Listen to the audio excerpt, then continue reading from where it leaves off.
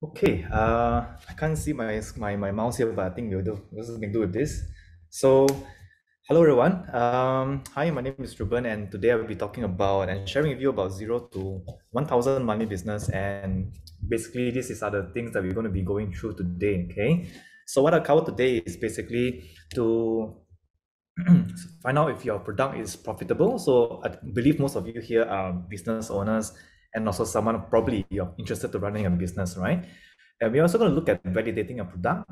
And we're going to do this practically. There's going to be not the slides, but I'm going to do some stuff practically together with you today.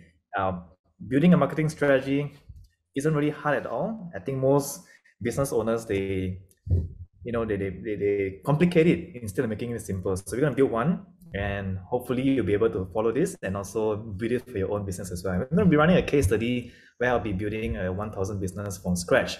All right. Okay. So um, again, thank you for joining me today. I hope most of you are safe on the floods in Malaysia. Yeah, my name is Reuben. Uh, quick introduction about me and then we'll go back to you. Okay, so my name is Reuben. I'm a head marketing elite, and I teach business owners marketing. And marketing is huge. So normally what I do is I teach digital marketing. And when we talk about digital marketing, it covers mostly the digital parts of marketing, right? Um, I also help businesses grow. So that's where I you know offer some services in terms of consultations for uh, SMEs, startups, and more to help them grow in terms of revenue and also more of their audiences and customers.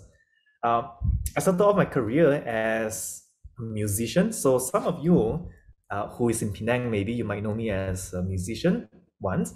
I, I, I still play music these days, uh, but then I spend most of my time more on marketing now, right? So I'm a co-founder of music school in Penang.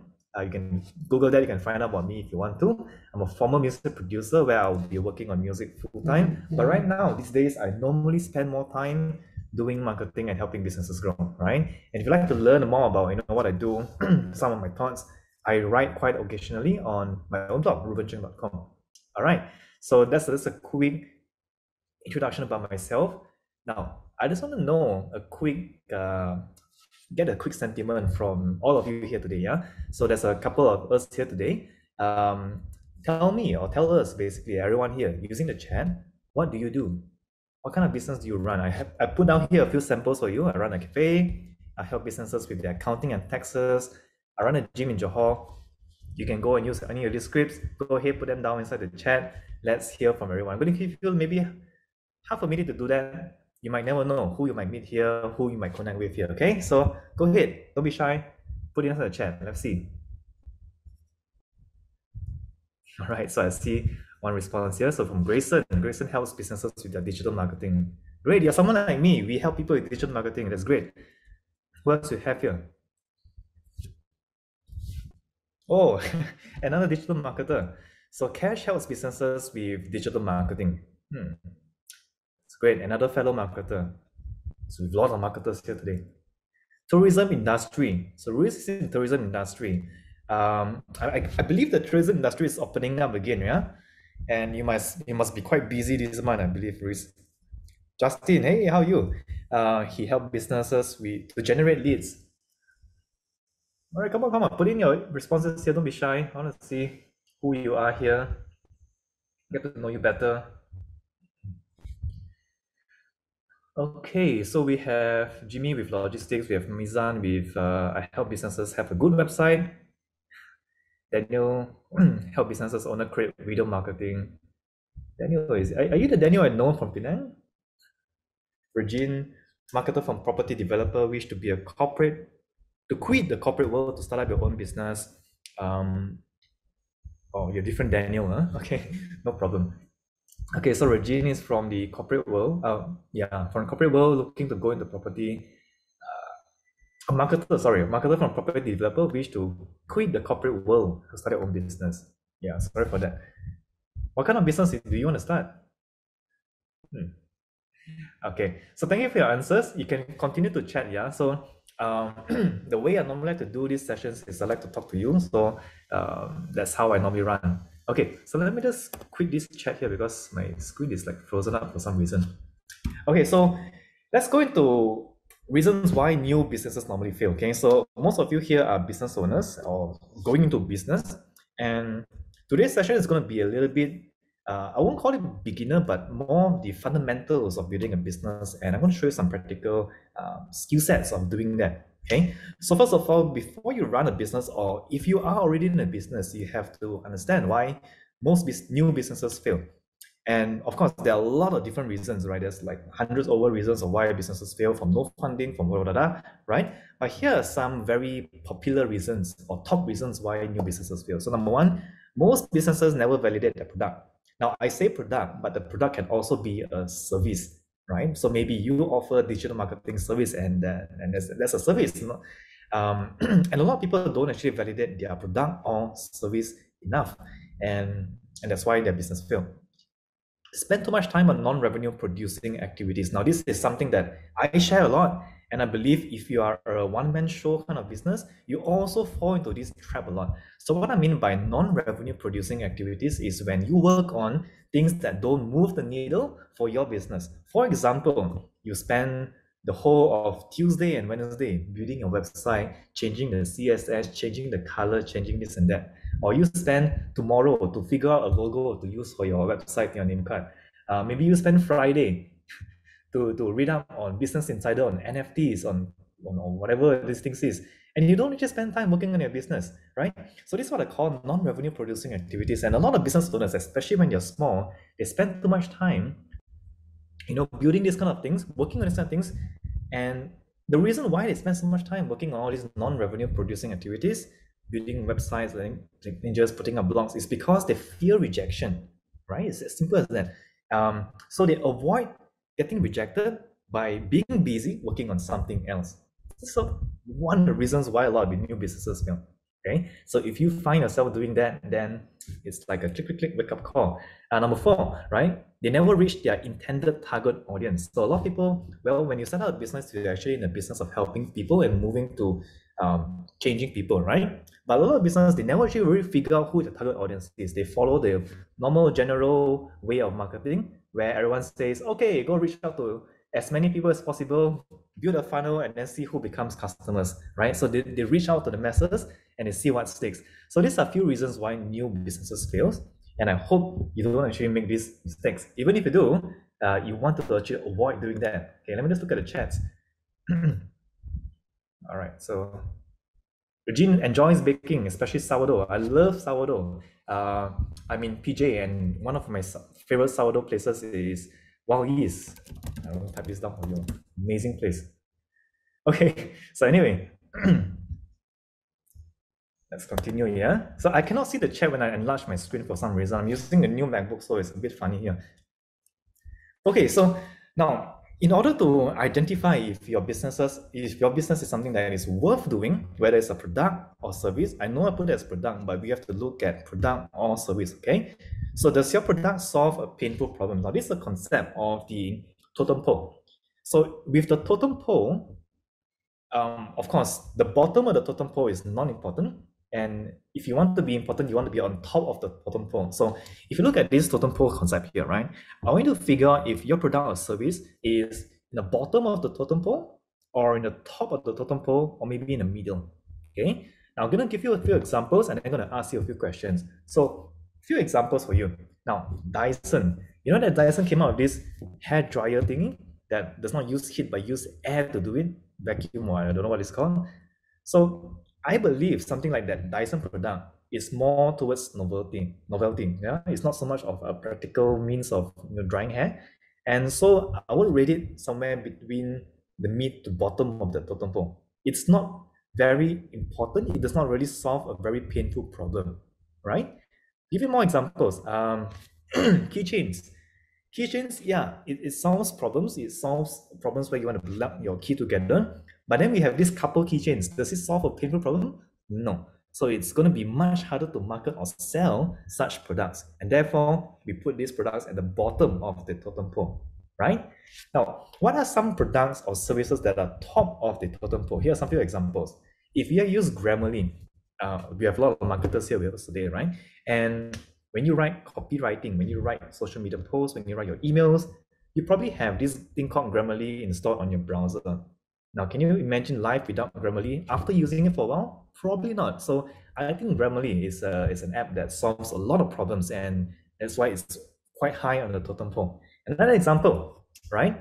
Um, shaving creams. I was just shaving in, a, in the morning. I'm thinking like, what would I do without shaving creams, right? So shaving creams is something so small, but yet it solves a huge problem in the world. Don't you think so? I mean, especially if you're a man, if you have a lot of hair, facial hair all that, right? It solves a big problem. I, I need shaving cream. I cannot live without it, right? And based on what I've shown you, right?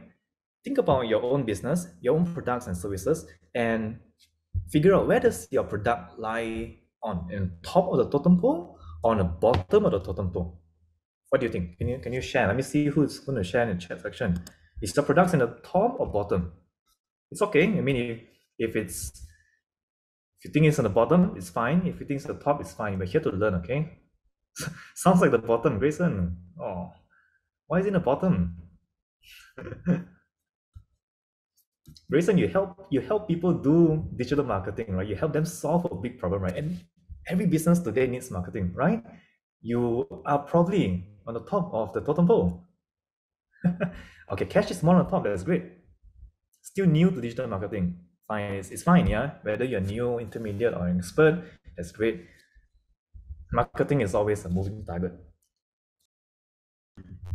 Um, we are clothing wholesaler. Okay. Chinon, everything top already fulfilled easily. Are you sure? yeah. All right, all right, all right, all right, all right. So I hope I got you to think a little bit, yeah, think a little bit of your products or services. You want to be on the top, all right? Because sometimes when you're when you're a marketer, yeah, me as a marketer, I help businesses with marketing, right? And of course, I have my fair share of working with businesses with products that are on the bottom of the pole. So what's going to happen is it's going to be really, really hard to market this sort of products or services, no matter what you do, right? No matter what you do, no matter how you market, how brilliant you are, if the product sucks, nobody wants it, it doesn't solve a payment problem, it's going to be very hard to sell. So sometimes it's not the marketer's fault, it's not your fault, it's the product that you're looking to sell. So if you've been doing marketing, if you're trying to you know push out something, but then somehow you cannot push it, nobody want to buy it, it's probably in the bottom of the totem pole to be real with yourself. Okay, so I'm glad to see a lot of you are in the top of the totem pole. So that's great. Okay, now I'll move on here. So this is an example a product I saw, which, what do you think? Is this in the bottom or the top of the totem pole? It's called a banana protector. Mohan says in the middle. Okay, that's interesting.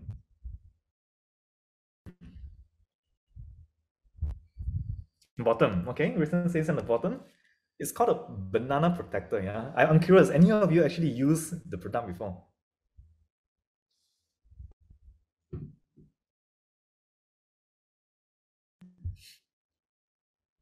Bottom. Okay. Never. Okay, so cash, that's a great answer. Depends on marketing and branding, right? But really depends on who it is for, right? Now, to me, if it's to me, it's on my bottom, right? I don't buy such product. I, I think it's a silly product to buy. Um, banana comes in all shapes and sizes, so might have a banana that might not fit in that case here. And yet, this is an actual product. Yeah, if you go to Shopee, if you go to Lazada, you actually can able to find this product.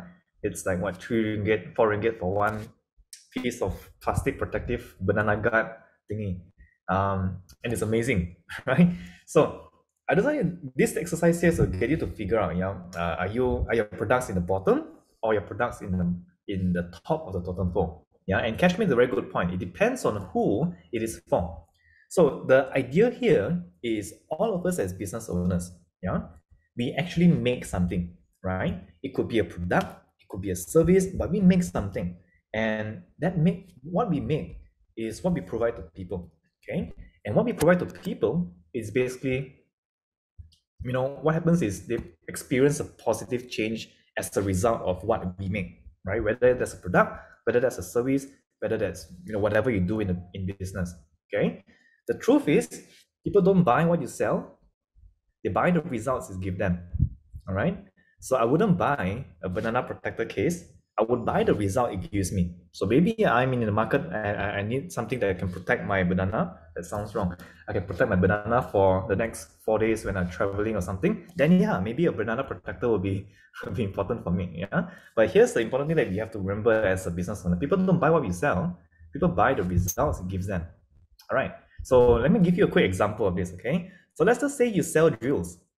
Okay. You sell drills today. So all you hear today are drill um, businesses, you sell drill or hardware store, you sell drills. Now, who's your customer? Can you can you help me here? Who would be your ideal customer? Can you share them in the chat? Let's just say you sell drills.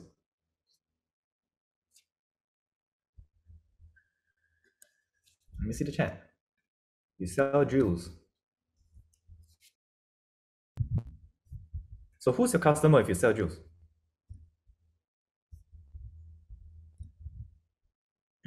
okay, so construction workers, supervisors, how would you reach them? Let's just say with digital marketing, right? How would you reach them with digital marketing? You sell drills and you're interested to use digital marketing, whatever strategy to reach them. How would you reach them?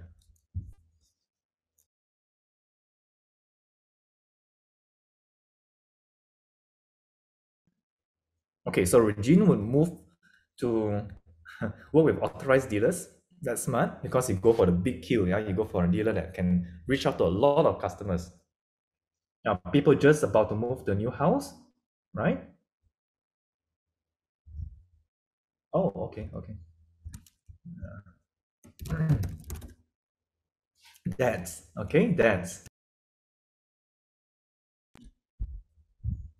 what else? Who else is a customer?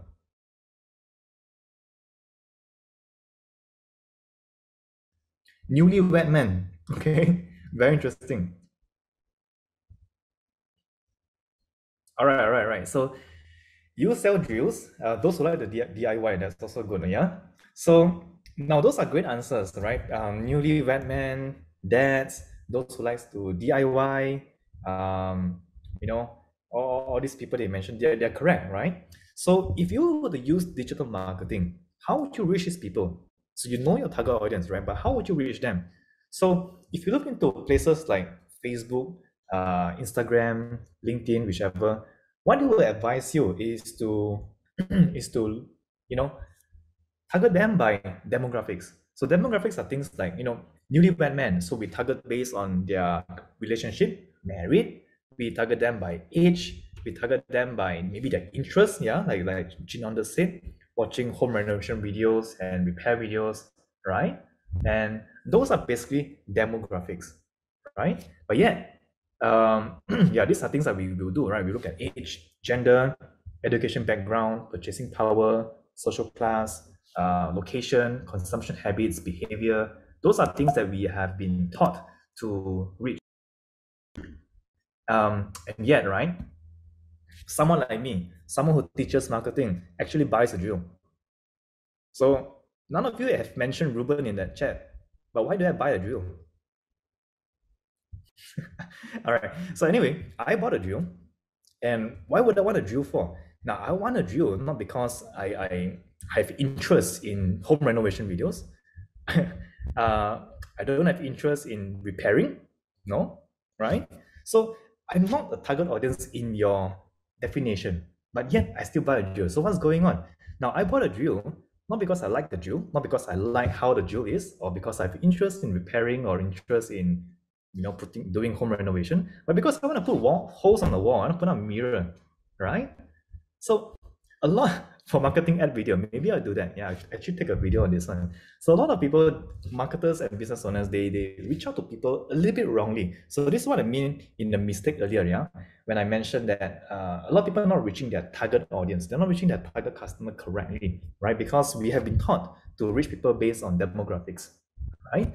So here's a little paragraph from uh, Seth Godin's This is Marketing Boom, right? So instead of reaching out to people based on demographics, we want to go for psychographics, right?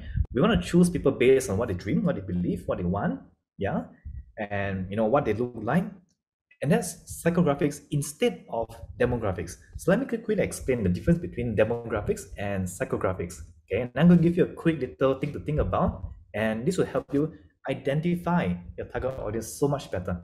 Okay, so demographics is something that we all have been taught. Yeah, demographics is what we see outside of someone. Where do they live? What is their occupation? What is their interest? What they watch? What they see? What they talk about? How old they are? You know, and all this stuff. That's demographics, and all this data can be, um, you know, targeted on using platforms like Facebook ads, Google ads, whichever ads. You can do that within the next half an hour. Nobody has to teach you how to do it. You can follow through the platform. It's so easy. Okay. Now, the harder thing is to look at psychographics. So psychographics is basically what people are thinking inside, right? So how would you know what I'm fear? Like me, Reuben, yeah, what do I fear? Or what do I look up to? What is my biggest pain? You will never know that from looking at demographics. Uh, what is my values? What is my aspirations? What is that thing that I want to do? What is one of one that's something that I want to achieve? Right? You'll never be able to find that from using platforms like Facebook ads or any digital marketing tactics. You'll never be able to find that. But then people buy things based on psychographics, not on demographics. Okay, so that's something I want to share with you. Um, so these are three psychographic questions to ask to identify uh, your customers or your prospects. All right, I've broken it down into three triggers, pain, and goals. All right, so think about what make your customers say, "I want to make progress in my life right now." Okay, and why now? And what's the pain that they're feeling? What pain is stopping them from making progress? All right, what is stopping them? And does your product or service help solve that problem? And number three, what progress do they want to make? What functional, social, or emotional goal do they want to reach? Now, I'll show you uh, an example of these three psychographic questions based on why I bought the drill in the first place. Okay, so we have triggers, pain, and goals, right? Remember that. So my trigger is, well, I moved to a new house or something like that, and I need to hang mirrors right? My wife needs to see the mirrors in the bathroom, whatever, right? That's the trigger. That triggers me to think about, oh, I need a drill, I need a hole in the wall. Now, the pain is I don't want to spend on contractors again. I spent a bomb on renovating the house or whatever, right? And I don't want to spend any more on contractors. Okay, that's my pain. And my goal is to basically put up mirrors on the wall and maybe impress my wife, right? That I can do it too. I don't have to spend extra money. Okay, so that is the trigger pain, and goal. So your task, your task today, right, is to think about the trigger, pain, and goals of your ideal customer. So if you sell digital marketing services, what will trigger your the, the companies that you're approaching to think that ah, we need marketing right now? What is a pain? So let's just say you're doing marketing for let's say uh, a property agent group, right? A property company. What is a trigger? Oh, um, New Year is coming. People are going to buy houses. Maybe that's a trigger. All right. What's the pain? The past campaign we ran, we didn't get many leads. We didn't get many customers to want to buy a house. Right. What's the goal? We want to have 100 new home buyers. Okay. And where does your product or solution fit inside that trigger, pain, and goal? So when we identify the trigger, pain, and goal of our, our prospects, our customers, it becomes so much easier to think about who you want to reach. And that's how you identify someone's psychographics. Not so much on, oh, I want to target someone who is 40 years old, who lives in Subang, who lives in uh, whatever, right? Because that's not going to be accurate. Uh, and that's that leads to the to the problem of reaching the wrong target audience for business. All right. I hope I hope that makes sense. I think I've not explained it as as as well as I wanted to, but I hope that makes sense. Okay, so let's go in and build a marketing strategy. Now, building marketing strategy is simple. Yeah, it's not really hard at all. Um, let me just break it down for you. So, to build a marketing strategy, it all comes down to um, these four questions here, right? What do you make? Who's your customer? Where are they? And how do you reach them? So earlier I asked you, what do you do, right? So some most of you said you are digital marketers. Some of you said you work in uh, logistics. Some of you say you, you are a marketer in a property group. And that's what you make, right? You probably make a product or service or something for someone. Okay. Now, you then identify who your customer is. And I told you to switch it from demographics into psychographics. That means we don't target people based on how old they are, where they live, how much they make, but we target them with what are the pain problems that they have? The, what something is that what is something that triggers their needs, right? What is their goals in life? What is their pain, right? And why would they want a product like yours? Then we go into where are they at? Okay, so once you identify that person, let's just say you are selling a drill and you're selling to someone like me, all right? Where is someone like me hanging out there? Am I on Instagram? Am I reading magazines or blogs? Am I watching an Exabytes webinar? Um, where, where this person is. So once you identify this person, then you figure out how do you reach these people, right? So maybe you want to reach out to them directly, right? This is something that is totally um, underrated. I think not enough people do this, which I'm going to do it with you later on. Uh, you can run paid ads to reach them. You can create content for them on social media. You can organize events to reach these people. But before you think about how you reach them, you have to figure out where they are, right? And before you figure out where they are, you have to figure out who your customers is. So a lot of people, a lot of businesses, they jump straight into how to reach them, you know, without identifying who their customers is. And that's why um, businesses fail. Okay. All right. So I've prepared for you a small marketing framework, which I will brush through with you quickly. And I will share with you this little sheet here you can use for yourself and plan out a quick marketing strategy. Okay. So it's very simple. I'm just going to share with you on the chat section here. Please make a copy for yourself. Don't steal my copy, right? And let's let me share my screen and I'll go and show you how to use it. All right, so make a copy for yourself. It's super simple, all right? It's nothing nothing fancy here. It's just a Google sheet anyway, yeah? Um, but the ideal marketing is to keep things simple. It's not to overcomplicate stuff. You don't have to overcomplicate stuff. I think most marketers, uh, including me myself, sometimes overcomplicate stuff, and that's not good. All right, everyone is good?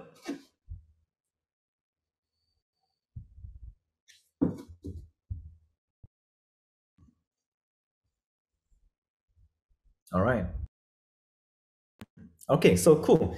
It's very, very simple. Um, you can play a bit more on your on your own after this, but then uh, this is something to get you thinking about your customers, yeah? And this follows that little marketing strategy that I've shown you earlier. All right. So we're gonna plan a little bit here, and then we're gonna do it for real. All right. At least I'm gonna do it for real, and you're gonna be able to see me doing it and see my process of doing it. Okay. So in my example, I'm going to be selling USB microphones, all right?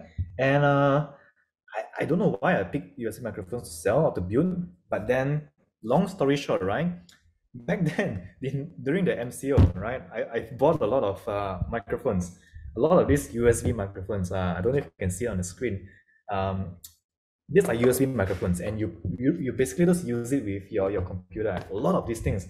So basically I've overbought this stuff, yeah, and I started giving up these USB microphones to people who needs them at the time. And now I have a surplus of microphones at home. and I don't know what to do with them. So I'm thinking of selling this microphone to maybe set up a side business or side hustle, whatever you call it, and sell these microphones to people who needs them. Okay, so my business is I'm going to sell USB microphones to people. All right, so yours could be different. You plan it for yourself. All right, so I want to sell USB microphones. So who are my customers? So I'm going to think about my customers. All right, my customers are probably someone who are like me, right? Maybe they're marketers. Maybe they are trainers, right? Maybe they are content creators. Okay, so you do this for yourself. I'm doing it as an example, but you do it for yourself. All right. Now, what are the desires? So each of your customers, your product might serve a few customers, right? Each of your customers might have a different need or different one a different desire. So let me focus on trainers because I can think like a trainer and I know what trainers think, right? So what are the desires? Now, a trainer wants to sell more courses or they also want to do more training, right? So these are their desire, okay? Now, how does your product help them? So as a trainer, um, and if you're talking about USB microphone, well, our USB microphone make their maybe their training more or maybe seem more professional okay? All right so this is basically how we you know map out uh, our who our customers is what their desires and how does your product or my product help them. All right so usb microphone might make the training seem more professional. Maybe they'll need one anyway to create content right? Um, you'll need better sound to sell online courses. Let's just say, yeah. So this is how the product helps them. And you might notice immediately, yeah, that even though I have the same product and different customers would have different desires and would have different benefits as well. So the same product might give a different benefit to a different type of customer. So it's so important to zoom down towards who your customers is, right? Think about what their desires are and how does the product help them. All right. All right, who's lost? Who needs help? Very easy, right? This is super easy. All good? Stay with me. This is the good part, yeah? We, we do, I do this for all the things I launch, so this is a good part of of, of coming up a marketing strategy that gets us to revenue. All right, so I'm going to assume that all of you are done, okay? All of you are good. It's easy to think about this. Um, and then once you're done with this, I'm going to move on to the next sheet, okay? So the next sheet would be, how do you introduce yourself? So Regina is good, great, thank you for your feedback. How do you introduce yourself? Um, and we talk about a landing page here. Now, here's what I believe. Yeah. After doing marketing for so many years, right, I believe that you shouldn't build a landing page until you validate your product. Okay, that I'm serious. So a lot of people tell you, oh, you need to build a website, you need to set up an e-commerce store, you need to do this and then and no, right? You don't have to do any of that.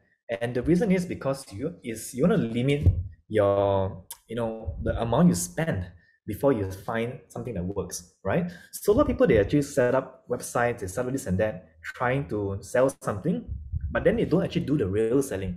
Remember, I talked about doing those non non-revenue producing activities. This is what I'm talking about. Okay, so we can actually skip this landing page for now, but we can come back to this later on. Okay, so to quickly run through with with you how to use this one, basically your landing page or website is an opportunity for you to introduce yourself. Okay, so let's just say I'm selling USB microphones. So how do I introduce myself? Right? What's my promise? What is the unique selling point of what I'm offering? What is the risk reversal? That means uh, what if someone buys whatever I'm offering and then don't like it? What's the risk reversal, right? What is something that we can provide to them in return? And is there any testimonials or credibility they can actually check? So I'm going to skip the landing page for now, but we can come back to this later on during the Q&A section. Okay. Now we're going to go into where are they, all right? And um, this is simple, okay? So I'm going to delete all these things here first. Okay, so what I'm going to do is start figure out where your audience are. So to use my example, I'm selling USB microphones and I'm targeting or reaching out to trainers because I can help them. I can help them make their training look more professional, right? So where are trainers uh, hanging out at? So maybe they are on YouTube. If they are on YouTube, what kind of videos are they watching on YouTube? What kind of trainers am I reaching out to? Maybe I'm reaching out to tech trainers and they're watching YouTube on, you know, how to how to stream uh, on, on YouTube, right? Maybe they're watching these kind of things. How to stream tutorials. Okay, can I reach out to some of these content content people who creates how to stream tutorials on YouTube and maybe strike a partnership with them where I can actually sell my microphones to their viewers? Maybe, right? Um, social media. What groups do they follow? What groups are they in? Maybe on social media, there's uh, a Malaysian trainer uh, group thingy. I, I can't remember what's it called. I'll show you later. But yeah, there's one group that all trainers are inside. So they are my perfect, uh, you know, audiences that I want to reach out to and help, right? Now, who do they follow? Uh, what events do they go to? What are some non-competing business that they are actually consuming from or buying from, right? Maybe, maybe there's an online um, course company in Malaysia that I can partner with and also sell my microphones to, maybe, right? So what you want to do here is to figure out where our customers are. Okay. I'm not going to go too deep into this one, but I get I, I guessing that you know the the idea uh, cash-shaped budget microphones. Then also, yeah, maybe they're looking for, you know, what are the top five budget microphones in Malaysia? You know, because they don't want to spend a lot. These these trainers, trainers are stingy people. All right, so you get the idea. Okay, so you do this for yourself. Map out as clear and as distinct as possible on who you can actually reach out to and where they are. Okay.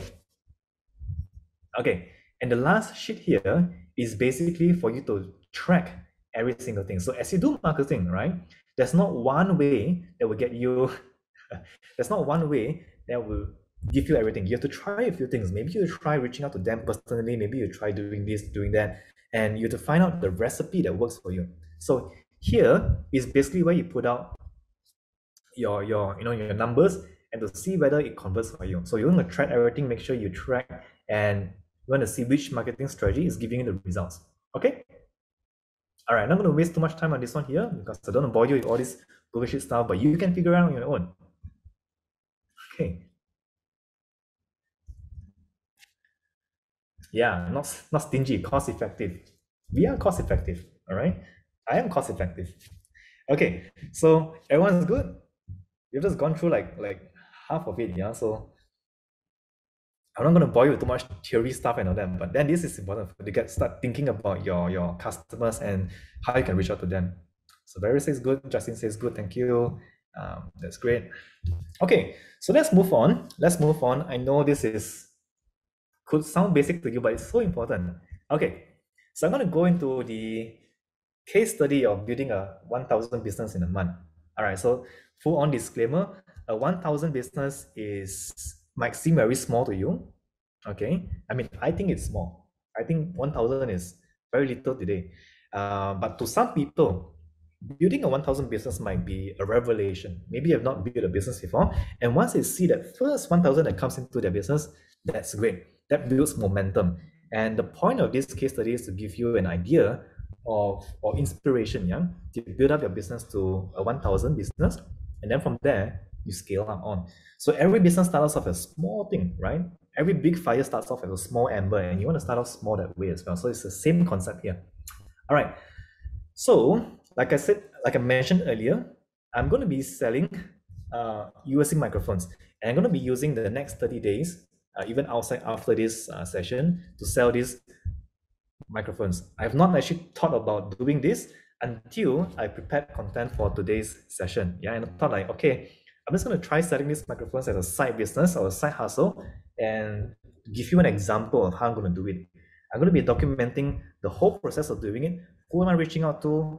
who how, how many people buy, what kind of marketing strategies I'm using, SEO, paid ads, whatever, and put it down into a post so that you can actually follow it and to learn from the mistakes I made, what I've learned, whether I succeeded or whether I failed. Okay, so if you like to actually mm, be notified or be alerted, right, for for all the updates that I do, just go to this link here. I'm just going to get this link, okay, and share with you you will see a little pop-up form when you click on that link there.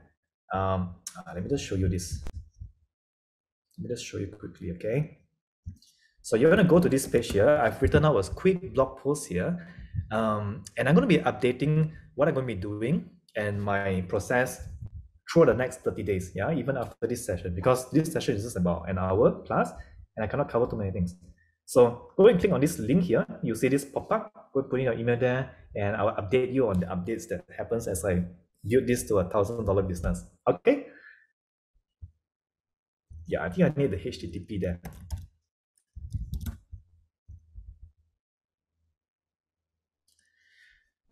Okay, so I'm going to go back to my slides and just brief you what I'm going to be doing. Okay, and we're going to do some practicals later on.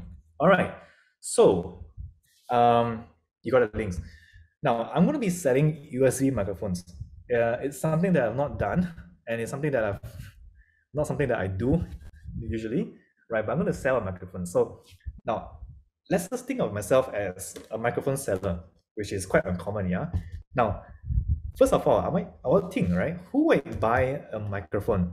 So just now I given you some ideas, right? Teachers, trainers, content creators, marketers might actually buy a microphone. Maybe you, right? Maybe you like to be my customer, first customer, that's great, right? Uh, so teachers, content creators, marketers will buy a microphone, right? And why would they need a microphone in the first place? What kind of problems does it solve for them? Maybe they can sell more courses. If I'm focusing down on trainers, yeah, maybe they can sell more courses. They can deliver their message much better. They can share about their products better. Uh, maybe you, if you're a salesperson, you can actually, you know, run more efficient sales presentations. You know, you, you have been to those sales presentations where you cannot hear what they're saying and then it annoys you, right? So you don't become that kind of person. Okay. Now, here are some challenges selling a microphone. And just like your business, your products, you also will have challenges. So to me, I think the challenges in selling a microphone would be microphones are a commodity, right? If you Google this microphone up, you'll probably be able to find a cheaper, um, someone selling it for much cheaper, maybe from China, maybe somewhere else, okay? Maybe a fake as well.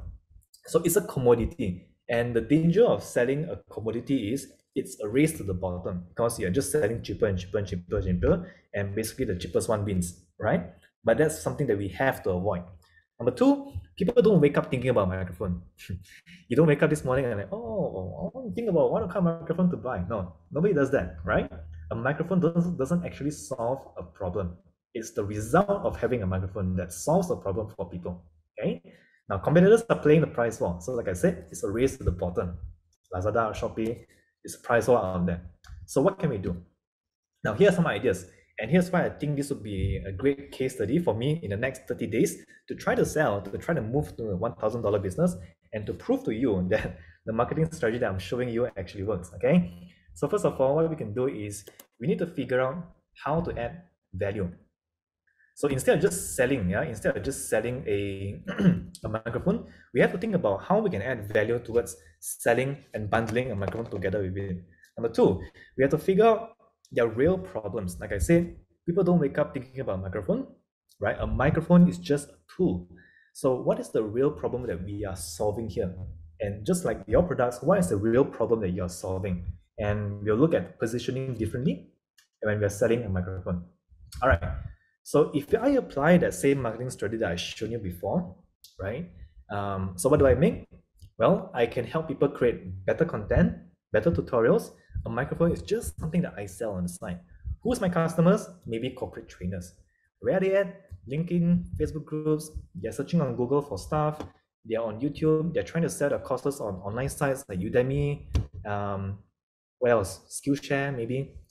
How do they? How do I reach them?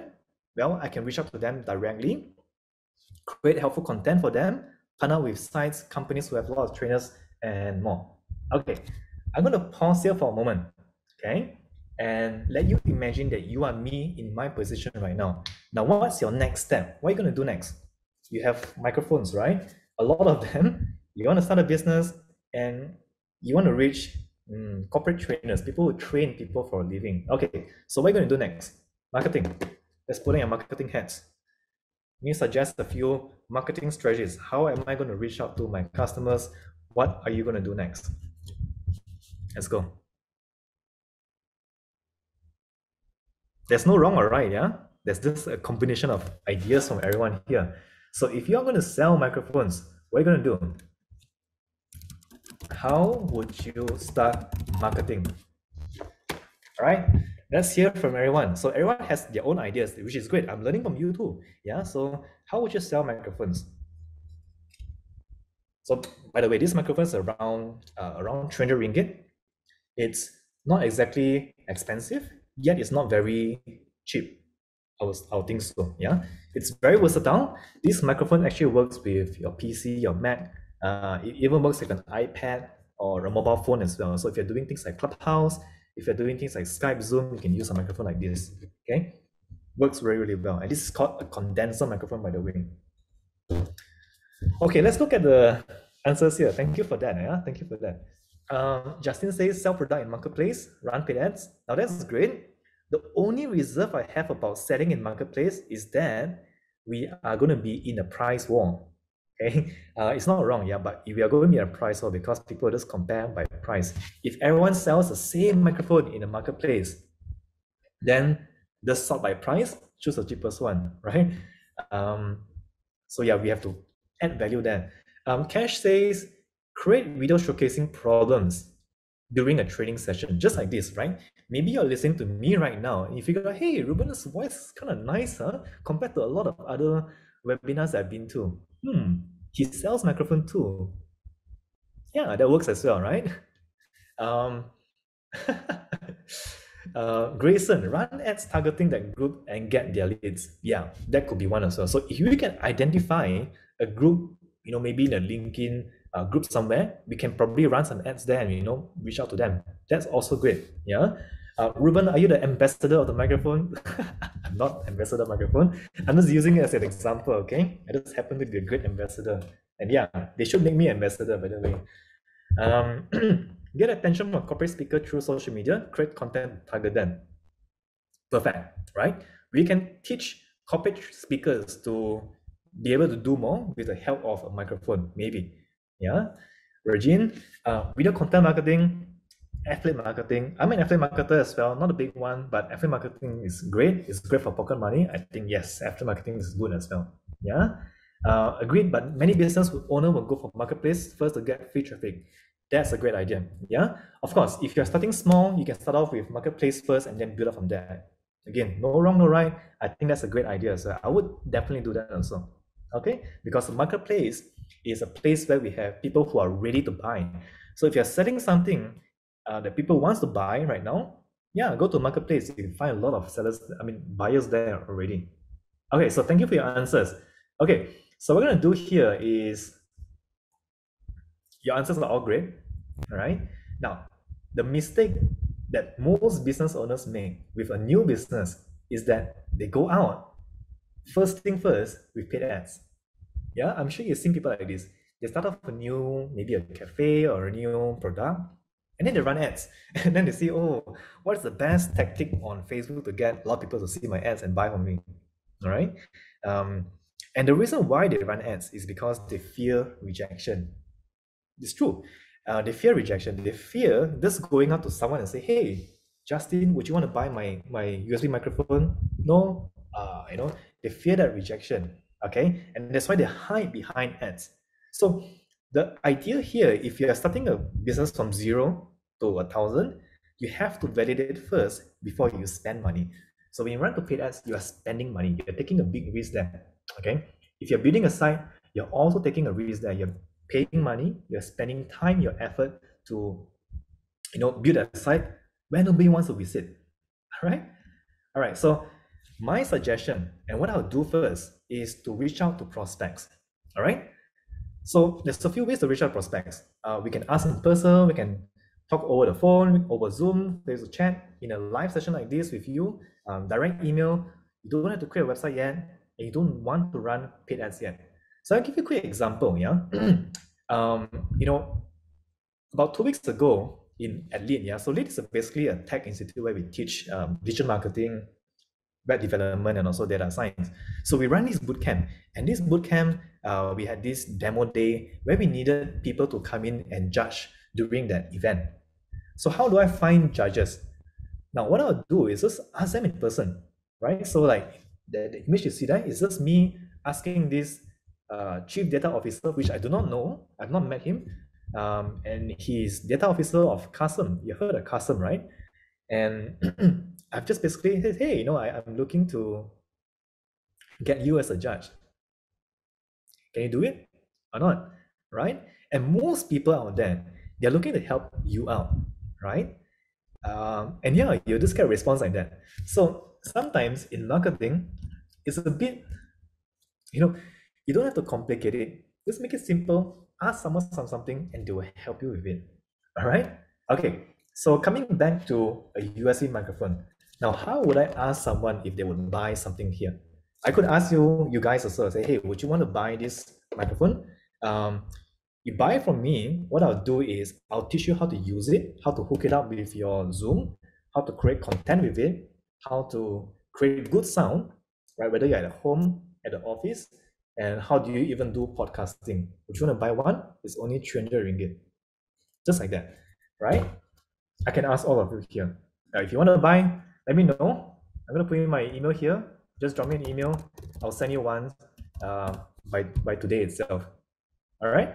Now, I'm just joking, but you can as well. Um, okay, so what I'm to do is to just reach out to people. And I'm to do this practically. Yeah? Okay, so I'm to go into my my browser here. So how do we reach out to people straight away? Now, this is something that is totally underrated, and I think a lot of people are not doing this enough. So what I'm going to do is I'm just go into Facebook, okay? And I'm gonna reach out to some people. I'm gonna do this live in front of you. Okay, so who would be in the market for uh, a USB microphone? I'm gonna start just talking to people, okay? So I'm gonna go into my chat. Maybe I'm gonna go into searching for someone. Yeah, so I invited this guy called Darren. I think probably some of you would know him as well. Yeah, uh, into a, a boot camp that I run, the, the data science boot camp I ran like two weeks ago, and he said, "You have a very pleasant voice. Do you do podcasts?" Okay, I'm gonna probe him a little bit. Yeah, hey, Darren, this came into my mind. Yeah, just came into my mind. Do you do podcasts? All right, and what I'm going to do from here is I'm just going to talk to him and figure out his three things. Remember, triggers, right? His problems and also goals. Remember those three uh, psychographical stuff, right? So I'm going to talk to Darren and say, hey, Darren, just came to mind. Um, do you do podcasts? And then he might say like, oh, yeah, I, I do a bit podcast, but then, you know, I kind of stopped doing podcasts for a while. And I'm going to ask him, oh, you stopped the podcast. Why did you stop the podcast? You know, and I'm going to probe and probe and probe and probe until I find something that I can help him out with, right? So when it comes to doing sales like this or validating, validating a product, you don't have to build a website. You don't have to build a landing page. You just want to go out there and talk to people and then offer them your product. Yeah.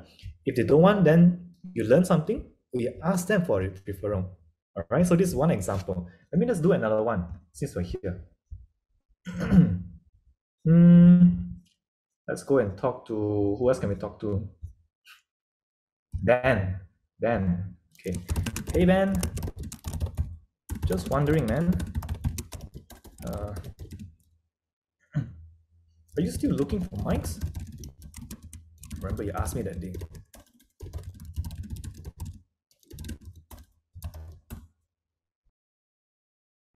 So what we are doing here is, yeah, we are building conversations with people. So a lot about a lot of setting, right, is a result of building conversations. It's about talking to people, understanding the problems they have, and then approaching them with a solution, right? And what I'll do is I'll think about the top 10 people that I can reach out to and just directly, you know, drop in a message like this or email them or go to LinkedIn and message them. It's as simple as that. Okay, so these guys are probably working right now, so they won't respond to me right now, maybe later. But again, I want to document this whole process here and put it up in my blog. That's why you're gonna follow this so I can share with you what's gonna happen, who am I gonna be to sell to, what is my sales process, how am I marketing it, how am I gonna scale it up to a thousand, and you get the idea. Okay, so for now, I'm gonna go back to my slides. All right. All right, so there's many ways to reach out to prospects, but before you do anything, please, please, please go and validate your product or services to see if people want to buy it or not. So I could ask maybe like 10 or 20 people, and if nobody wants to buy it, then something is wrong, right? I have to fix it. I have to ask them, why do you not want to buy it from me? What's you don't do you not see value, you know, and all those kind of stuff, right? You get the idea. So before you run ads, before you go into doing SEO, uh, content marketing, just reach out to people you know and see if they will buy or not. All right. Okay. Now I know a lot of you. I'm a mind reader. A lot of you are gonna say, ah, Reuben is like salesy, man. I don't like selling. Selling sucks. I want to do yeah, e-commerce so I can hide behind e-commerce.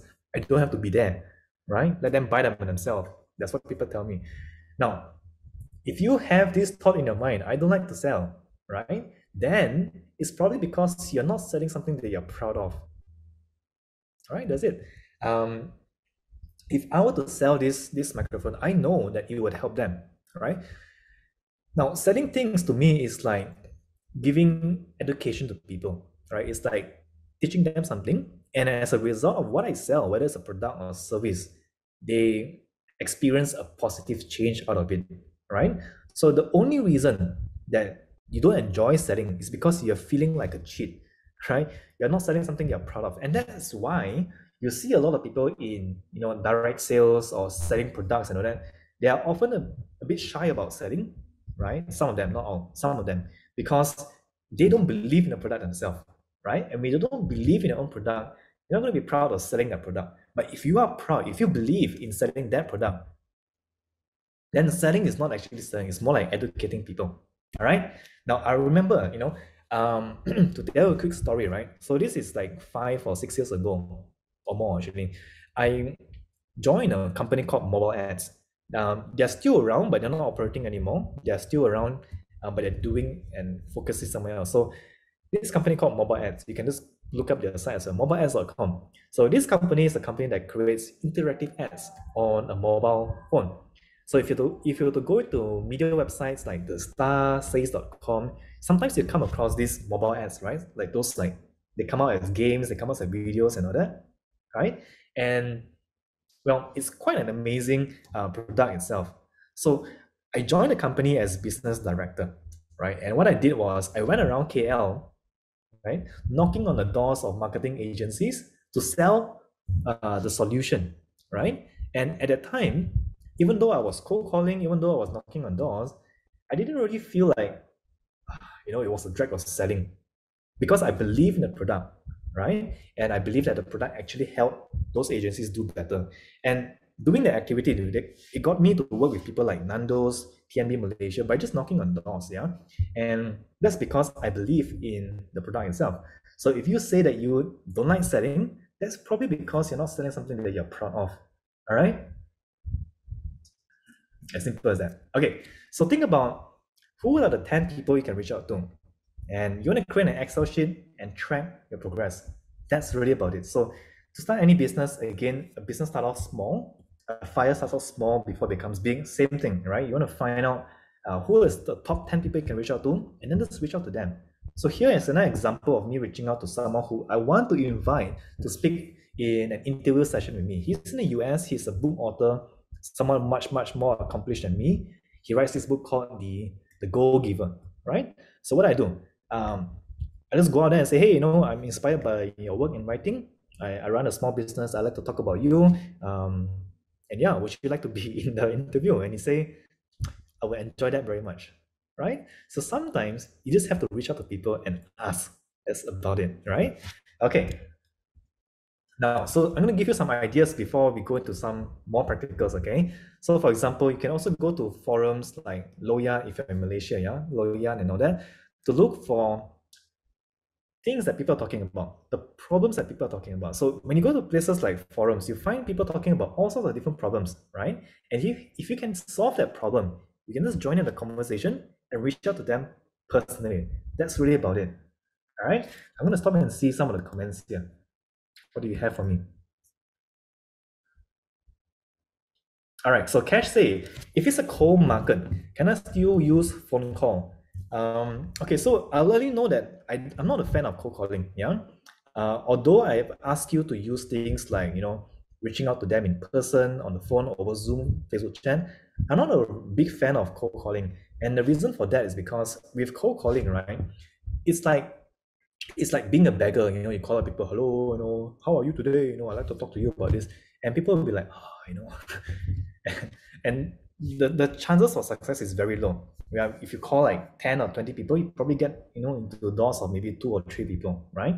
And the reason for that is because, well, people maybe they, they, they pity you and just give you a chance, right? And you don't want that. Um, so I, I really don't encourage you to do much cold calling. I would just, you know, reach out to people that I know first, that I know that I can help, and then see if my my products or service actually solve a problem that they have. All right. Regine say, cool, you're proud of your own product. That's great. Uh, Misan says, awesome. All right, what else do you have for me? Okay, so I mean, just go and give you a quick example, yeah? Since we are here, since we're doing this, I'm going to go into my Chrome again. Um, no, of these guys have not actually responded to me. It's okay. Now let's see what's going to happen after that. Okay. Now, so how do we go into forums? So I'm not an active member in Lowyat, right? uh, but I know a lot of people are talking about stuff. So what we can do here is we're going to forum, uh, sorry, Lowyat, right? And I'm just going to type in like USB microphone or, or, you know, some people are going to be talking about how to sell uh, online courses, right? There we go. So you can see that some people are talking about how to sell video content online, right? And because I'm selling USB microphone, these are my market here. So I'm going to go inside here and you know, I'm going to see what are they talking about. All right. Uh, okay, so this is quite old since last year, right? Hi all, I was thinking to sell some video courses. Have anyone have any experience how to start, which platform to go for, um, da da da, right? So what I'll do um, is I will sign up as a member, right? Join in a conversation and maybe send him a DM and say, hey John, are you still looking to sell video courses, right? Uh, I, I saw your thread. Are you still looking to sell video courses? And John might say, oh yeah, you know, I wanted to, but I have not started. And I'm going to say, hey, you know, like, what if I help you out with that? You know, I can actually help you out. I have some experience running some uh, courses on Udemy, and and you know, I, I could give you some pointers, right? See if I help you, right? I have like thousand five students here. Would you like to to you know need to help you? And John might say, oh yeah, wow, you have thousand five students on Udemy. Okay, tell me what you know. and then slowly I'll work with him, find out what triggers him, find out his problems, how his goals, and then maybe sell him a USB microphone. right? It's that simple. And I'm not saying it's easy to do. It takes time, it takes uh, effort. But yeah, that's really about selling. It's about educating people and then seeing how you can help them with your products or services. So that's how we use forums to look for customers right? We don't have to use paid ads. All right, let's go into more. All right, feel free to ask your questions, yeah? Uh, I'm, I'm going a bit fast because we are past 3 o'clock, okay? I'm supposed to go into Q&A pretty soon, but then, um, you know, we're going to spend a bit more time here. Okay, so quick question for all of you here. Now, what's wrong with this statement here? You know, when, when uh, maybe you might also do this kind of thing. You might make this mistake well. So you're a salesperson, or maybe you approach a salesperson and say, "Oh, you need to buy this, this, and this because it will help you with this and that, that." Now, what's wrong with this? Let me can help me with this. What's wrong with this when we when you use such statements?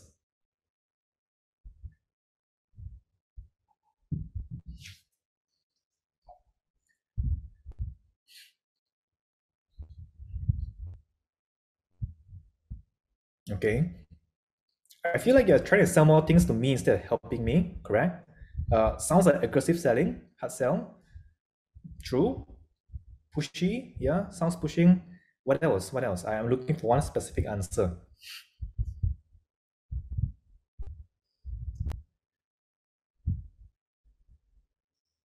All right, I think I think I push you into us telling me too many answers. Now, I've not created a slide for that, but they look happy though. yeah, people don't like to be sold. Yeah, people don't like to be sold. And one of the things that you know, when when salespeople, when salespeople go out to you and say you need to buy X, Y, and Z because it helps you, because this is so great, because my product can change your skin or whatever, they don't know. They don't know what you need, right? The problem with this is because, well, the people they are reaching out to, you do not know them. You do not know what they need. And you're just pushing a product, assuming that they need this product. So what does assuming means? Assume means making an S of you and me, right? So don't assume. When it comes to you know reaching out people, don't assume that they want to buy a microphone, they want to buy something. You have to probe and ask them questions. Um, I saw the question from Jimmy. I'll show you a method to do that, okay, in logistics industry. Okay, so when you talk to people, I'll give you a few more tips here, yeah? Uh, a little bit more sales tips, but then this will help you. Now, when you talk to people, here's how to listen. You go to approach them and say, hey, how is business going? Right? And then opens up a little thing. Uh, people might say, oh, business is good. Business can be better. Hmm, can be better? What do you mean? So basically, you want to ask questions that probe up, uh, to probe up the problems that they have, and then see if you can solve the problem for them, right? You can ask a question like, what are you currently working on? Oh, I'm working on this thing, yeah, or I'm working on that video thingy, you know. and you might find uh, an area where you can really help, right? Mm, what does a solution look like for you? Uh, or what's been missing with a current service or product that they are using, right? So this, these are some sales questions that you might probably ask, but then I think these are quite effective, okay? Now, once you ask the questions and probe them with some questions, they will tell you things. So um, you know, like sounds like X, Y, and Z. You, you said like, you know, uh, creating great videos or great content videos is important for you, right? Sounds like that's important for you. um, understand that videos are important for you, and I can I think I can help you out with content marketing. Are you alright if I suggest you something?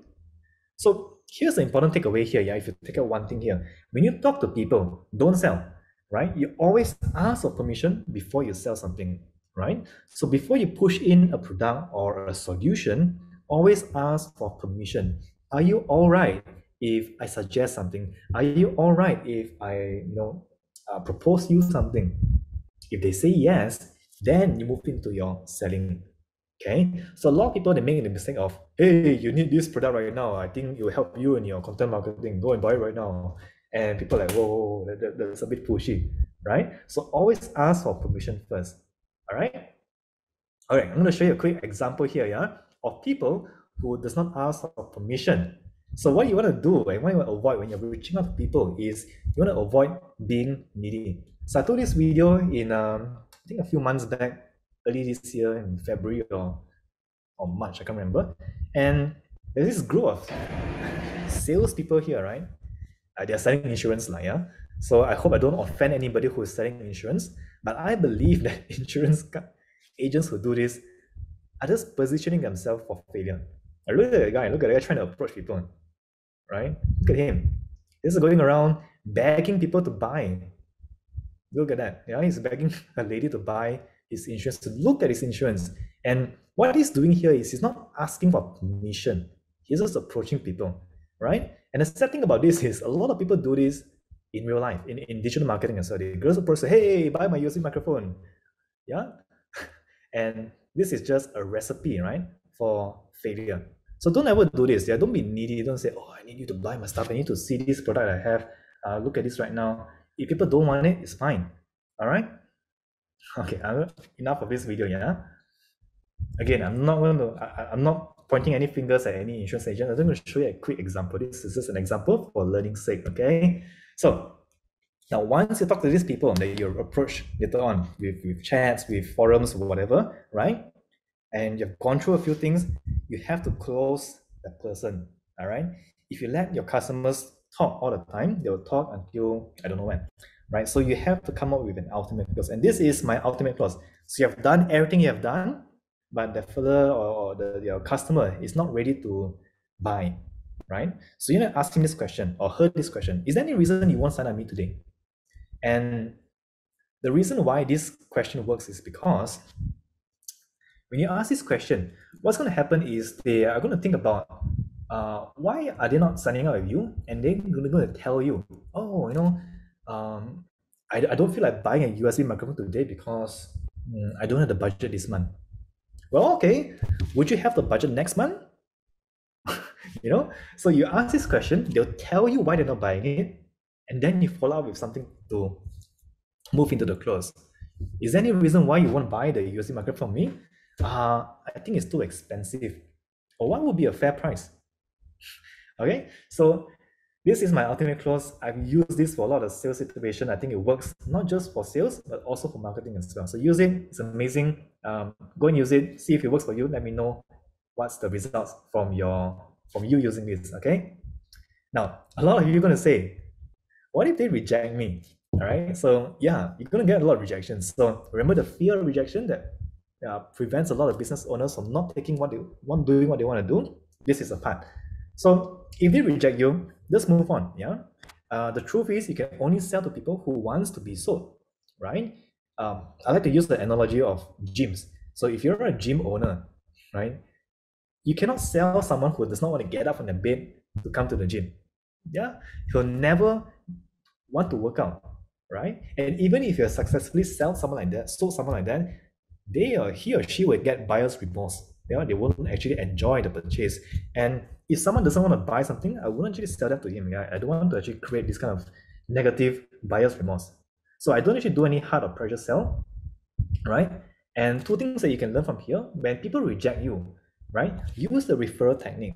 So for example, if I were to sell USB microphones to the, the two gentlemen earlier, right? I'll say, hey, you know, I think using a USB microphone will help you improve your your, your, your video quality and that will get you a lot of viewers, right? And they say, oh, I know, I just don't want to buy a USB microphone right now, and or maybe I already have a microphone. okay, I totally understand that you're not going to buy a USB microphone. Who do you think will actually buy a USB microphone? So you only use the referral technique to ask them about who else in their network want to buy a USB microphone, and that creates that ripple effect. So if they reject you, it's great. Ask for a referral. Okay, uh, learn from the field. So it's to learn from the field. So you can you can ask them, you know, um, what would make it easy for me to sell you this thing? And then you, are asking questions, they tell you, and you learn from them, and then you improve your products and services the next time you reach out to someone else. Okay. Okay, so I'm going to move in a little bit more quickly, yeah, to find out what people are searching for and give you a few more techniques. So we have gone through a few things where I've taught you to, you know, reach out to people, just start asking and get early validation. So it's so important to validate yeah, before you build any websites. So once you actually validate something, right, you can also use this little technique with SEO to find out what people are searching for and then create content that answers their searches. Okay. So uh, to do this, I will show you very quickly using Keyword Planner on Google Ads. It's very simple. Okay, two things. So I'm going to share my screen again. All right. So let's just say you want to create some content, yeah, and you want to find out what people are searching for. Because if people are searching on Google, they're normally searching for a problem, uh, a solution to a problem they are facing. So there are two ways to search for those kind of things. One is to simply just use Google. Yeah, so I'm to go to Google and I'm going to search for how to make money on Udemy. Okay. All right. Do you see this section called people also ask, can I earn money from Udemy? How much do I get paid from Udemy? How much money can a beginner make from Udemy? How does it? So these are people who are wondering, right, about how to make money from Udemy. And we know that these people are probably trainers. They probably want to, you know, sell a course. So if we can put up a content for these keywords here, that's great. So these here are in fact our keywords. So you create a content to answer these questions that you have here. Can I earn more from Udemy? how much do you get paid in Udemy and more? Okay, so simple, just like that. Now, the second method is to go into somewhere like Google Ads.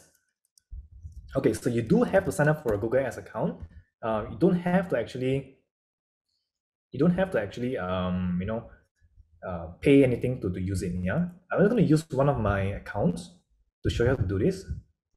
Okay, I'm going to it. Uh, and under the Google Ad campaign, all right, you want to go into the tool settings. Okay, I'm not running any campaigns currently. You want to go into the tool settings here, and there's this thing called Keyword Planner, right? So Keyword Planner is for you to actually plan uh, to find out keywords that people are actually searching for on Google to run ads for them. But we're going to use this to determine if there's a market for this. So I'm going to do discover new keywords, and then I'm going to search for something like USB microphone to see if people are searching for it in Malaysia, see this Malaysia here? Okay, I'm going to click on get results. All right. Now there will be a recording of this uh, session, so you can actually go through this again, yeah. And I can see that it's a bit small. I can see that USB microphones, yeah. USB microphone, there's about 720 searches a month. So that tells me that, oh, there are people searching for USB microphones. There is a market, right? Um, and these are basically numbers of you know bidding in terms of ads. So basically use Google Ads or Keyword Planner to find out the keywords that people are searching for. And then what you do is then create content to answer the questions that they are asking. All right. Uh, Google Trends is great, but Google Trends is a bit broad.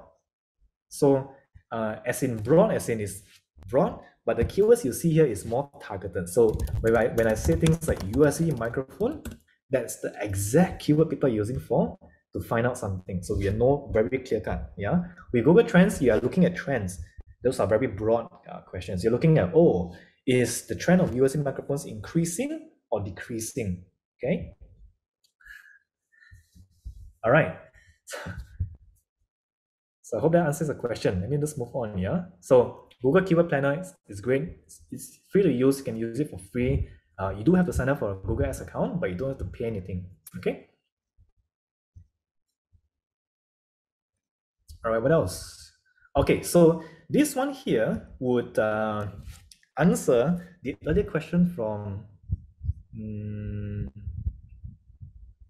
From who? Uh, let me find your name here. From Jimmy. Okay, Jimmy. So Jimmy asked earlier, right? How can you apply uh, reaching out to people with logistics industry? All right. So if you're in logistics industry, you want to look at who is the decision maker. Who actually you who would you sell to? Yeah, are you selling to a uh, a purchaser, right? And where are purchasers? So first of all, you identify where your customers are or where your prospects are. Maybe they are on LinkedIn. So whether they're on LinkedIn or whether on Facebook, one of the great ways to build dialogues, to build conversation with people is to use posts. Yeah. And you can use posts on Facebook, you can use posts on LinkedIn, they work very, very effective. All you have to do is just ask something and then see what people respond. So this is amazing technique. Yeah. So the reason this works is because people like sharing their thoughts, expertise on Facebook, Instagram, and also LinkedIn. And you use this to probe who's got a problem you can help and solve. So let me show you this live um, on Facebook, okay?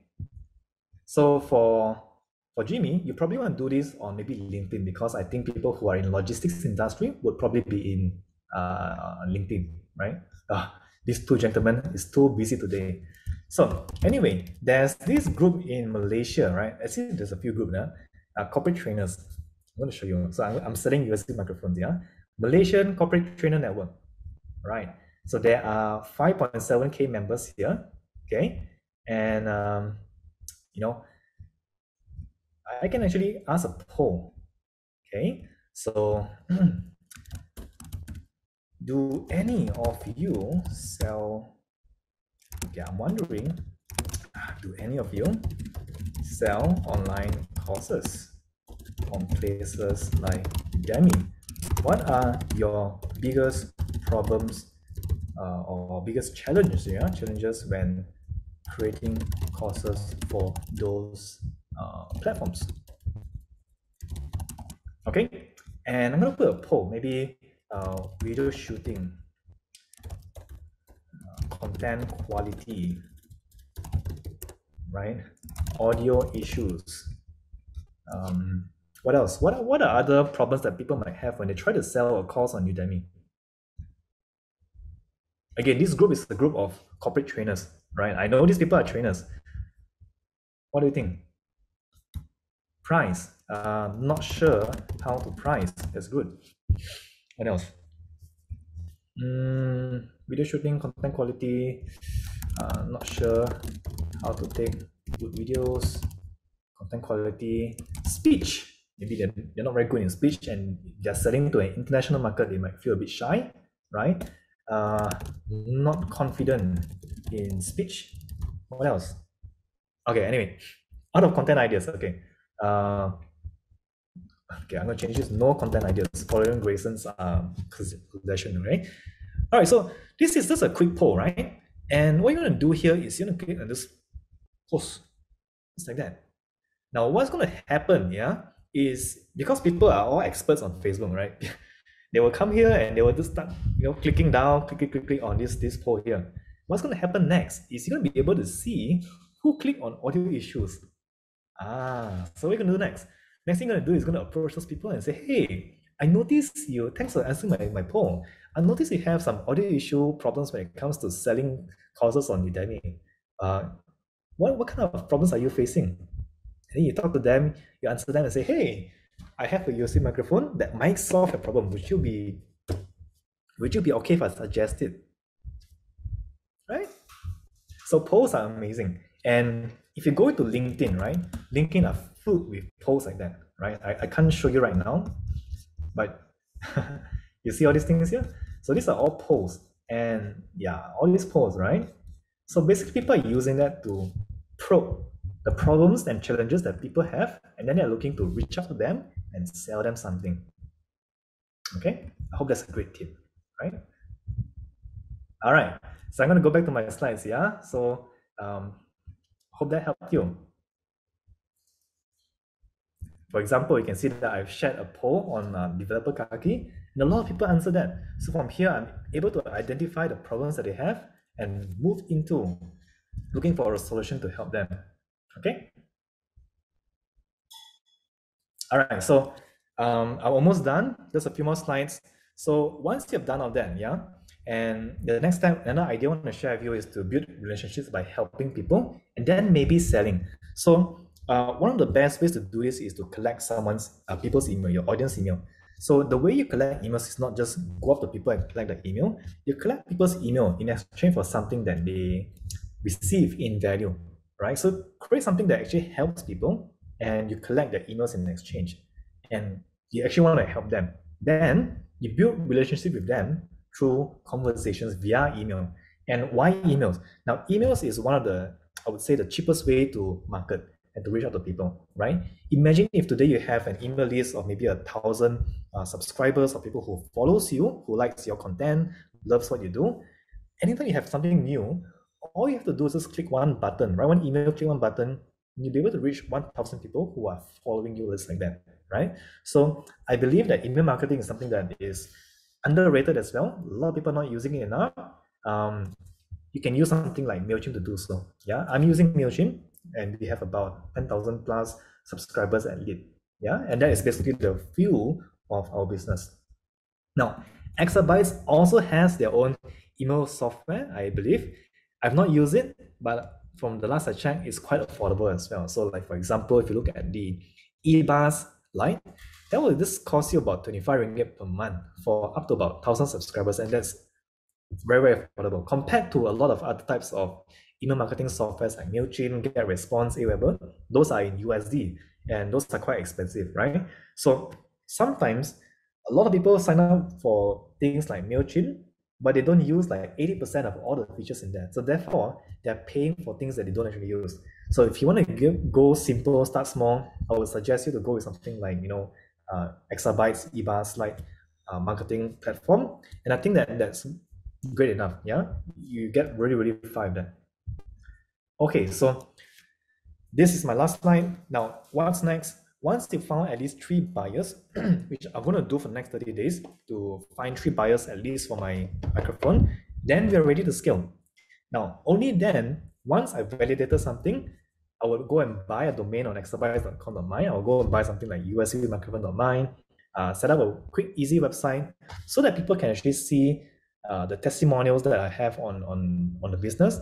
And then what I want to do is I want to build a business that my customer would actually want to share and talk about. That's how we build something that grows in, in, in yeah, basically that grows. Okay. All right. So in last, I just quickly share with you um, the point number four here, right? So I talk about build a business that your customer want to share about. So how do you do that? So the truth is most of the business that are amazing today, they don't run paid ads. Okay. Um, quick example I can share with you is probably like like Tesla. So did Tesla run like million dollar budget TV ads or Facebook ads or Instagram ads so that you know about Tesla? Or did someone tell you about Tesla? Right? So the same goes for your own business. You want to build a business that where your customers would tell other people about your business. That's the best case scenario. Okay. So running on paid advertisements is not sustainable what sustains is your own customers telling other customers. All right. And the last kind of example I'll give you is CrossFit. I use this example a lot because I do CrossFit. That's me in the picture, right? And uh, with CrossFit, right, I tend to tell everyone about it for some stupid reason. I do not know why. So CrossFit is basically like a, a, gym routine where you cross everything together. So you do gymnastics, you do weightlifting, you do running, everything. That's why I call CrossFit right? So people in CrossFit is a bit crazy. It's like they're in a cult or something like that. And what happens in CrossFit is the own customers, yeah, the people who do CrossFit will tell other people about CrossFit as well. And I find myself doing that as well. I'm telling people about, hey, you should come and join me one day. Hey, come and do, come and join me in, in this place. It's amazing, you know? Um, so putting it back to you, you want to build a business where your customers tell other customers about your business. That's the best case scenario. All right. So to quickly recap, Bob Low, yeah. So uh, some doubts to recap, yeah. Now, some of you might think uh, following Reuben's method, you'll be bugging your friends and family too much with asking them to buy something.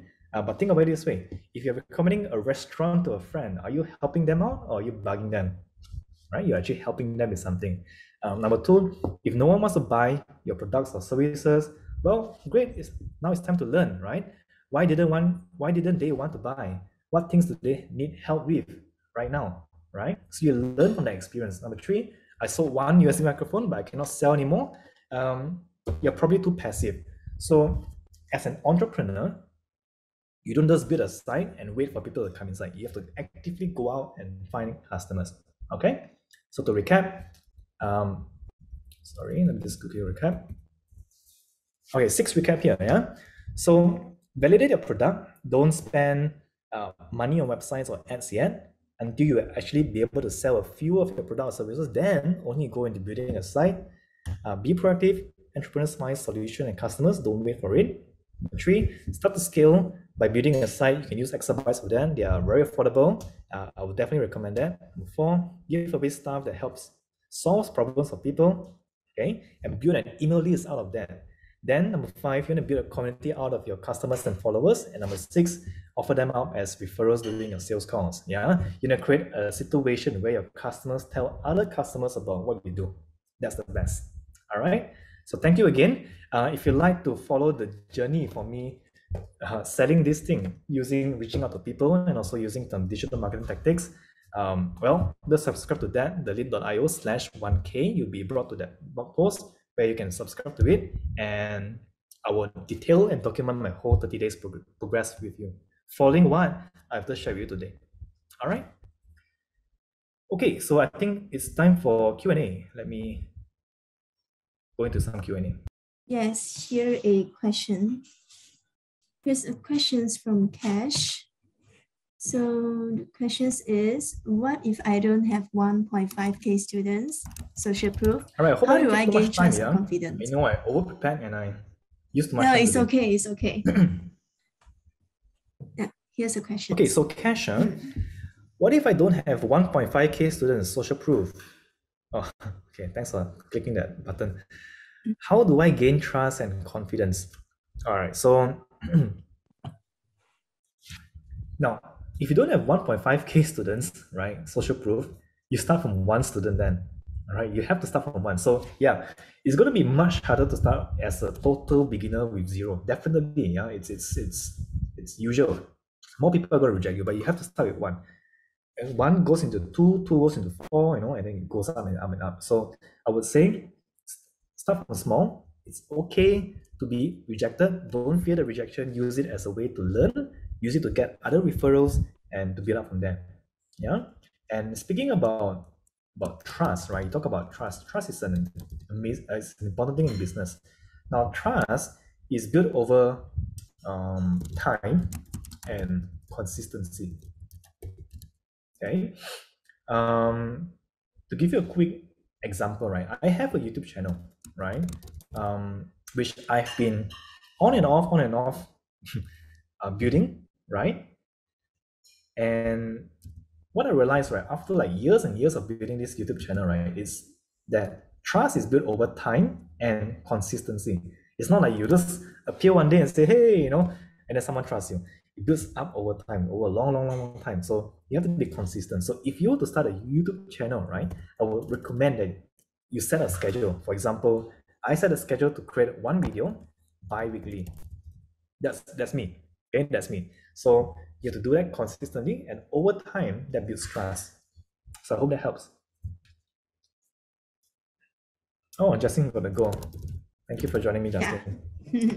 Let's okay, so that's the only, yeah.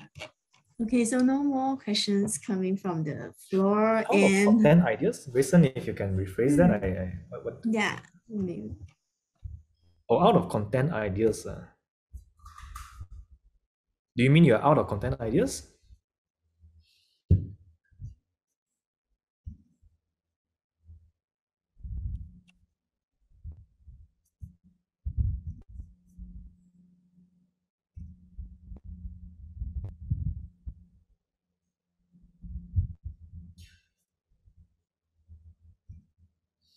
Oh, yeah, um, you uh, can access the video on Exabyte's uh, YouTube and also on their page. Let me yes. see if I'm able to find it for you.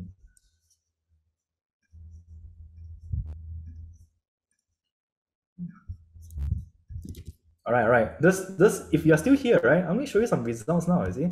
So, there, there, there, you see, people are already commenting, right? Right? so, people are going to be commenting People are going to be uh, doing a poll. And what I'm going to do next is just go reach out to these people and say, hey, you know, Andreas, uh, you did one in 216. Are you considering doing it again, you know? And, and try to see if I can solve a problem that he's having. Just like that. Okay. Uh, Jamie, are you the Jamie I know? Hi, Reuben. What would you recommend books or websites for us to view as reference for SME services? Hmm. You mean you want, you want a, like a you want a, a directory? Do you mean? Yeah, directory. Now, if thinking about directory, uh, I wouldn't be able to recommend one because I don't actually use a directory to reach out to people. Mm, but depends it depends on who you're reaching for so sme businesses well you can go and look for, at some directories online i guess but i don't use them so i wouldn't be able to recommend one for you. Um but yeah. So anyway to, to cache you can we, we can access the video after this when exabytes actually uploads it. Uh, i think they put it up to exabytes tv here. Yeah they put it up here. I will just share this with you so you can check back out the recording for this video later on, yeah? Any upcoming value sharing, I think you can go and look out into Exabytes, the events. No problem, Cash. Here you go. There's a lot of events here. Yeah, I'm here, I'm here. so I have another one coming out on 28. Now, so I know I have a lot of numbers in my in my titles like like 1000 monthly and also earn zero monthly. Uh, now today's session is a bit more beginner, uh, more startup-ish. Okay, gets you started. Now the the second session the following week is going to be a bit more technical. We're going to be going into a bit more of digital marketing and also going to the technique of doing that. Okay, so if you'd like to join me, um, 28 December, same time, I'll see you next week. Okay. Yeah. All right, so maybe we take one more question before we go off today, yeah? Yeah, yeah please put in the, the feedback form so you yeah. help me as well. um, any other questions that can help? Let's see.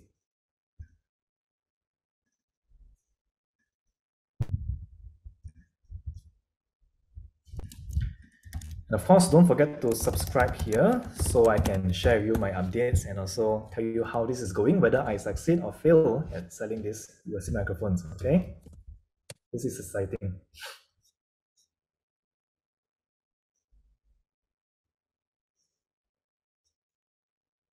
So is there still any questions from the audience? If you would like to ask, you can ask now. Because Reuben is here and he's ready to answer your questions. All right, if there are no other questions, then I'll pass it back to. Um, Hmm. Oops. Okay, I'll pass it back to uh, the panelists. All right. So thank you so much, Reuben. Thank you for your awesome sharing. Sydney, are you there or Sammy? Uh, I'm here, Cindy here. Can you hear me?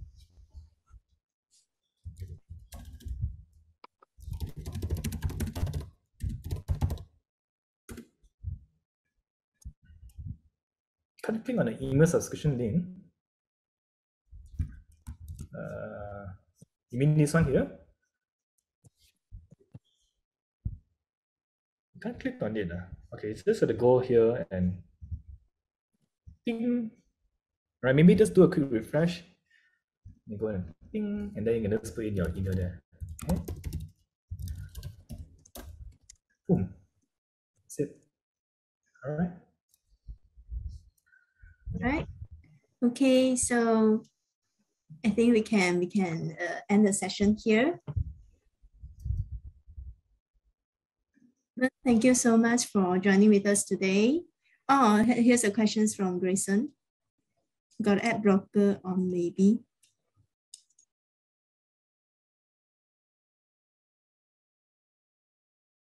Okay, all right. So I think we will end the end the sessions for today.